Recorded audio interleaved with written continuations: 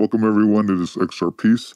Today is January 16th, 2022, 1.52 p.m. Pacific Standard Time. XRP is currently trading at 0.77006 with a circulating supply of 47,663,117,635 XRP. Thank you guys for joining me. I really do appreciate it. I really want to encourage you guys to let me know your questions in the comments below. I do read them and I do reply to them and I do respond. I you guys give me ideas on what to post. But I have been entering Twitter spaces and I've been noticing people asking the question on how to use and read these Sologenic DEX. And I know that's a question because I myself had that question. It wasn't until I figured it out that, you know, till I jumped in that I was able to figure it mm-hmm. out. Now I have a better understanding of it and I want to share that information with you guys. Now, I do want to say that I am not affiliated with any of the projects that I speak on. I speak on them because I find it personal interest. I am a financial noob. I am an NFT noob. None of this is financial advice. At the end of the day, you are required and expected to do your own research and due diligence. I also want to point out that I don't necessarily make these videos for them to be entertaining. I make these videos to provide you with useful information. This is what this channel is about. This is why I created it. Um, you know, if I'm not providing value, then by no means am I expecting you to subscribe. But, uh, you know, this is what this channel is about. It's not meant to be entertaining, but it's meant to bring you useful information. All right, so here we have the Xshroom Sologenic DEX. I will be going over the Xshroom Sologenic DEX as well as well as the Xzilla NFT project. Here we have the date versus the price chart, the Xshroom token to XRP ratio. Each token is currently trading at 325 XRP. Here we have the 24 hour change and the 24 hour volume. Here we have the buying limit order book and the selling limit order book. Here we have the XRP spread, which is the difference between the lowest selling limit order and the highest uh, price for the buying limit order. So the difference between these two will create the spread. Here's where you can buy and set a limit order. Here's where you can buy at market price, where you can sell at market price, and where you can sell and place a limit order. Now, when you place a limit order, a selling when you place a selling limit order, uh, you can see the color is red. When you set it to a buy, the color is in green. So whenever you place one and sign the transaction, it's going to be placed within the order book. Now, let me explain the order book. We have the price column, the volume, and the total price. So for this first uh, one in the list, we have this order that's selling a total of two tokens, and each token is being sold at 374. To purchase and execute this whole order, you, it will cost you 748 XRP. It takes 374 for the asking price per token times the total number of tokens, and then that's the total price. Same thing over here. This is when somebody's trying to buy and, and they place the a limit order. They want to buy at this price, 324.9999 per token, and they want to buy 0.442129 of a token. And for somebody to complete this order, uh, it would cost 143 XRP. Now, you can click on these. If, if say you wanted to sell and uh, execute this buying order, you just click on it. It'll automatically fill in the fields. And you, once you place and sign the transaction, you technically execute this order. All the other orders will go up. Same thing if you click on this one, if you wanted to complete this order, they're selling two of them. So therefore, it'll change it to buy, and you're buying at 374. Once you sign and place this transaction, it'll execute this order. This order is now complete. It doesn't have any more tokens to sell. It'll get deleted. The rest of them will come down the list. Okay, so that's how that works. So I do want to go through each occasion of what happens when you place a an order for one Xshroom at market price. So what's going to happen here? is once you place and sign this transaction, it's gonna go because you because you are buying at market price, it's gonna go through the current market. And the market is telling it that right now you can buy two at 374. So this is your the market price is set by these orders. Okay? So it's gonna once you sign this transaction, it's gonna take your order and it's gonna say, hey, I do have somebody an order that will sell you one at 374.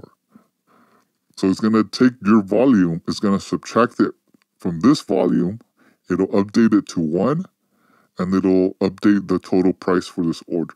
So after you place and sign this transaction, it's gonna show 374. Now it has a value of one, and it's gonna update this to 374. One token is 374. Okay, now let's do we bought 2.2. What's going to happen here?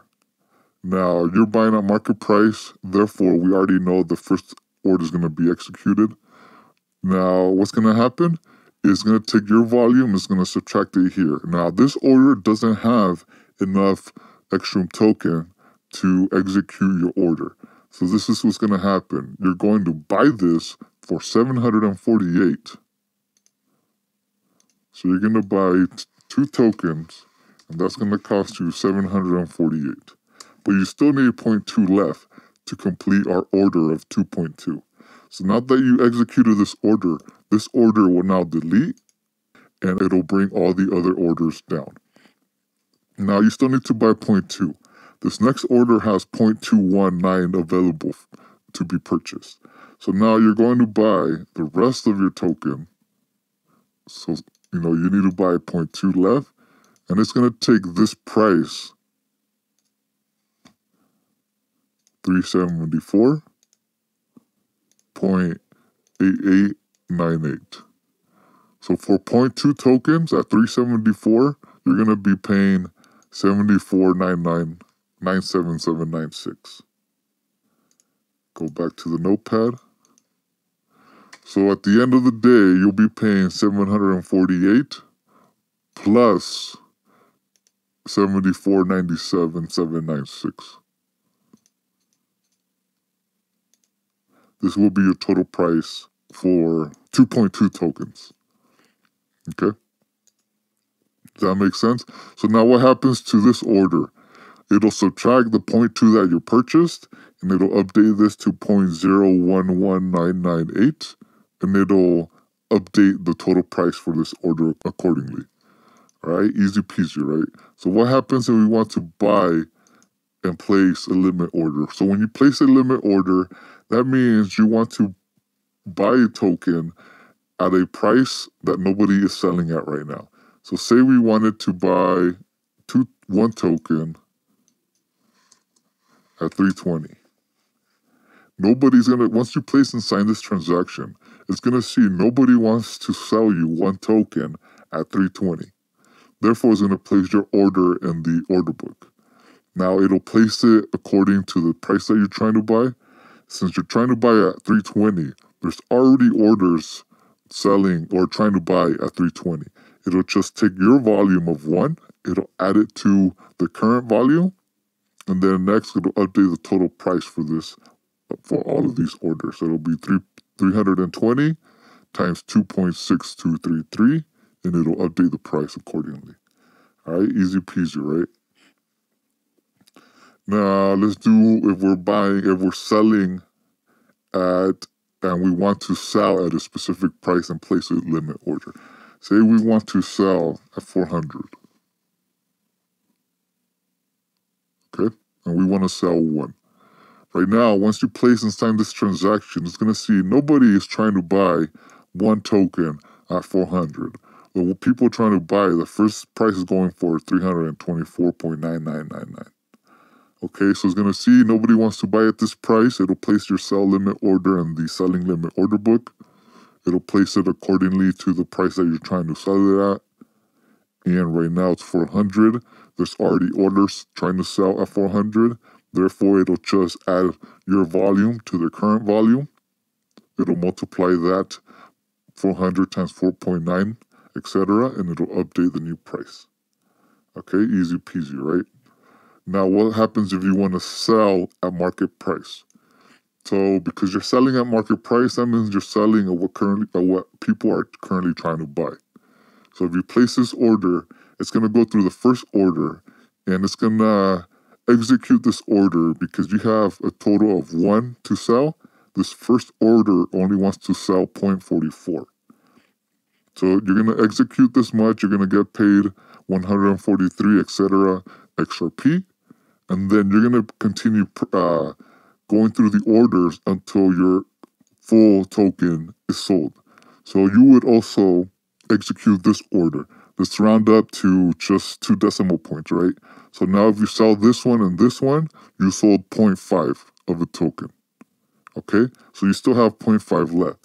So you would get paid 143 plus 22. And then since you have 0.5 left, you would, let's see, 0.5 times 320 should be 160. And now you would be paying 160 plus 22 plus 143 for the total. You would get be getting paid sorry uh, because you would be selling executing this order executing this order and you would partially be executing this order. This order would update go all the way to the top. It'll subtract 0.5 from this volume and then it'll update the price accordingly. Does that make sense? I hope it does. If it doesn't let me know in the questions. So now I do want to go over the scenario of what happens when, let's say, people came in and they bought seven tokens. Now, for this specific project, Xshrooms, they are waiting to mint until the XLS 20 standard is implemented. They will be doing it through the Xumm application, the XApp feature. And no announcements have been made as far as when that's going to be implemented. It hasn't been no announcements on when it's going to be voted on. And once that information goes out, you know, my prediction is that there's going to be an influx of people, a flow of people coming into the space. And what's that to create is to create orders to be sold the price will go up. So I sort of want to create the scenario what happens. And seven is a very conservative number, trust me. If one person or seven people came in and they each bought one token, you know, we're to be able to see how fast the price changes. Okay, so if there's news came out and something happened, you know, Xshrooms got attention, now people are trying to get in. Let's say seven people came in and tried to buy a token each. This is what's going to happen if they buy a market price. And I am going to round up to the first decimal point just to make it easier for me and yourself. All right, if it's 0.0001, I'm gonna pretend it's 0.1.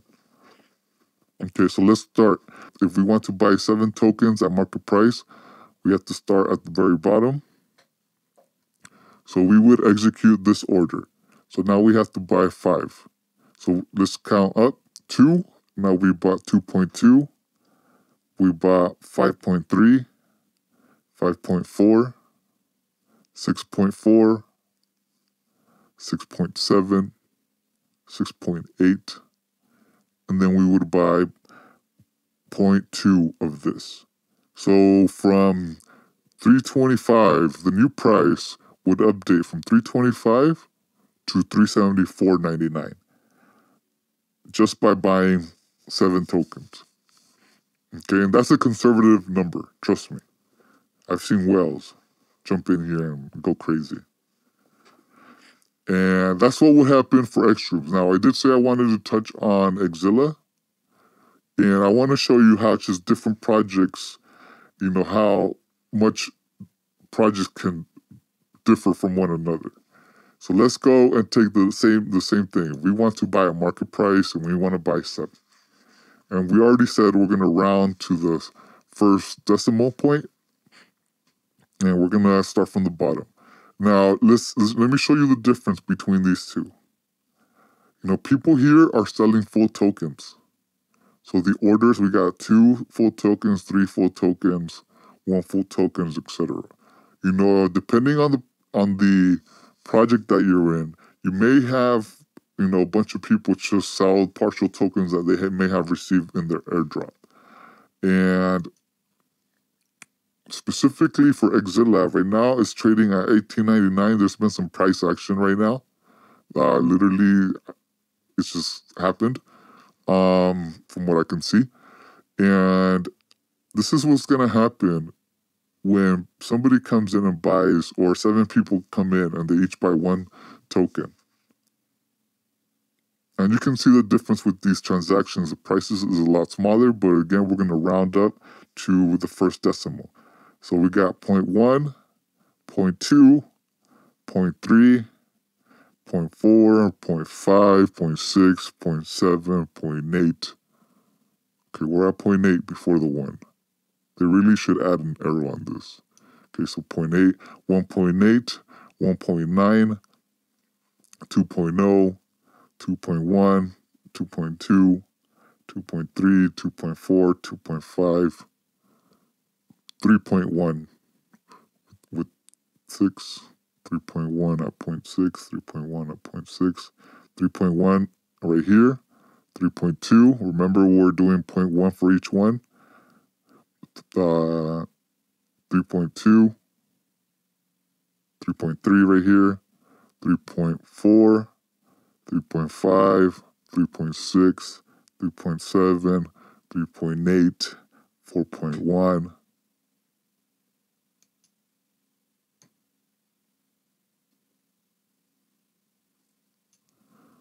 Four point one, four point two, four point three, four point four, four point five, four point six, four point seven, four point eight.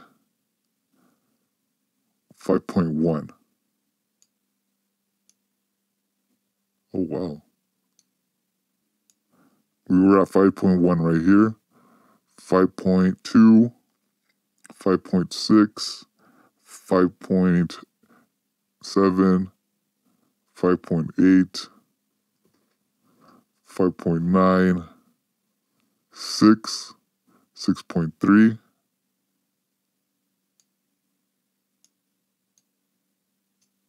6.3, 6.4, 6.5, 6.6, and then this order right here would uh, complete our order. So then if people, this is how fast the price can change, guys. So by buying seven, right now it's 18.99. We would go up to 2,500 as the new market price. Okay, why? Because there's so many orders. And keep in mind, I rounded up to 0.1. And a lot of these orders are 0.00 something. So, you know, we could have maybe completed that one order. Okay, but that's how fast right here. We're going to go up to 2,500 just by purchasing seven tokens. All right, now what happened here on the 13th? You know, we got a little spike right here. Something's going on right now. I need to figure out, uh, and I will after this video. But something happened here on the 13th. Okay, and I'm speculating this has something to do with it. So the NFT, uh, the Xzilla project, the moderator's been getting a lot of questions on the minting process that Sologenic NFT marketplace is going to have.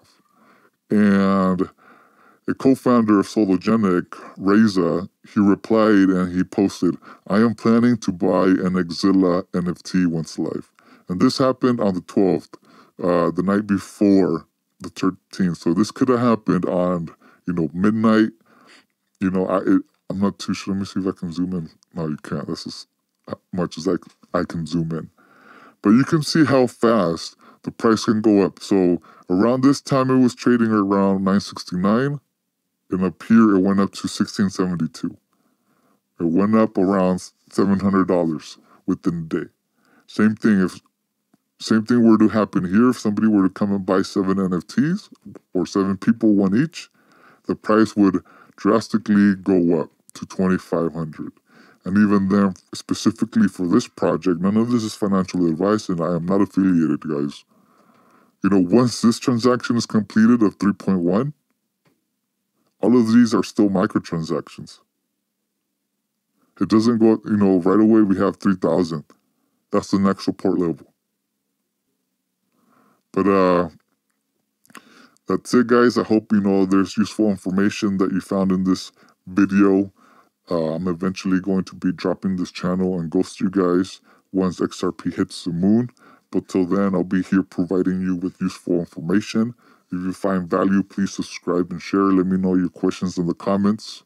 Don't forget, buy and hold XRP, the one coin to rule all coins.